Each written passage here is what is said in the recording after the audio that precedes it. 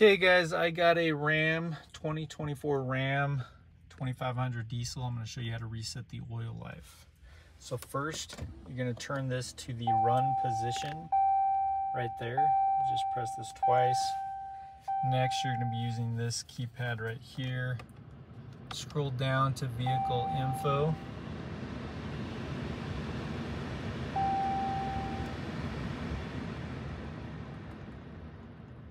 Scroll down to vehicle info, scroll right